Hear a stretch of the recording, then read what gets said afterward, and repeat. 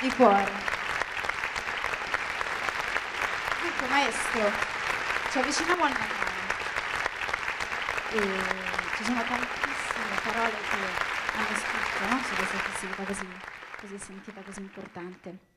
Noi abbiamo scelto, dico noi perché insomma insieme ovviamente al dottor Simonetti che dopo mi raggiungerà, abbiamo scelto delle parole molto semplici perché sono state dette da un uomo altrettanto semplice ma allo stesso tempo immenso che San Francesco. San Francesco, insieme ad altri frati e a uomini e donne che vivevano in quel territorio, aveva allestito il presepio di Greccio. Egli infatti voleva celebrare con ogni premura il Natale del bambino Gesù e chiamava festa delle feste il giorno in cui Dio, fatto piccolo infante, aveva succhiato ad un seno umano. Voleva che in quel giorno i poveri fossero soccorsi e sfamati dai ricchi e che i buoi e gli asini ricevessero una razione di fieno più abbondante del solito. Se parlerò all'imperatore, diceva, lo supplicherò di emanare un editto per cui tutti quelli che possono debbano spargere per le vie frumento e granaglie, in modo che in un giorno di tanta letizia e solennità anche gli uccellini ne abbiano in abbondanza. Quel giorno era il Natale ed era il giorno più bello dell'anno ed il fatto che Gesù fosse nato povero gli faceva ritenere la povertà una virtù regale.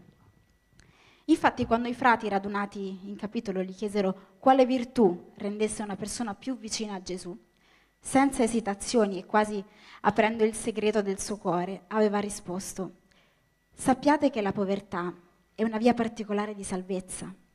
Il suo frutto è molteplice, la ricchezza del cuore in sostegno della povertà dell'animo. Credo che un applauso lo meriti.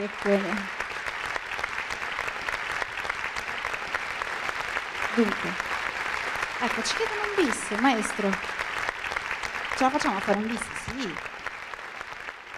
Sì? Prego.